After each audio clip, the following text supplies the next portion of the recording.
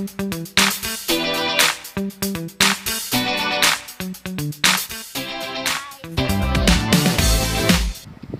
gonna be going to talk about the astronomical events in our lifetime.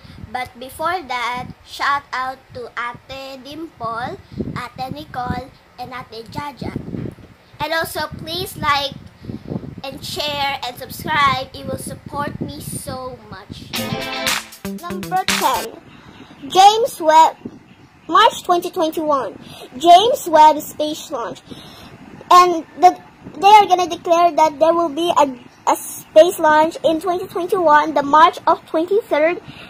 It's going to be very cool and something like that. And yeah.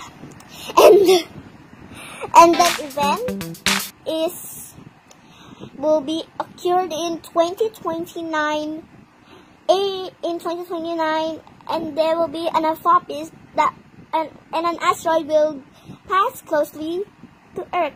And there's a 2% chance that it will strike the earth in 2029 number 7 there in 2020 in 2035 there will be a solar eclipse I mean a total solar eclipse. And this happens always happens every this happen this happens every 18 years. And the last total eclipse was in 2017 and you plus that 17 plus 17 plus 18 is 35 so it's gonna be 2075 so number six there will be a super moon cured in 2050 in the 2050s will be a super moon and it will be calling the super moon and the super moon is you the uh, moon passed through the very close orbit of earth. So that's why it's a super moon because it's very big and yeah.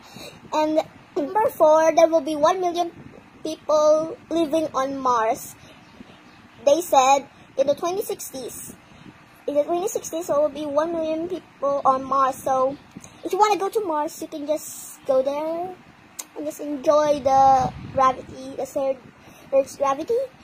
And the third astronomical event is the third astronomical event is gonna astronomical event is gonna occur at 2020 I mean 2076 and that will be a asteroid striking on Earth.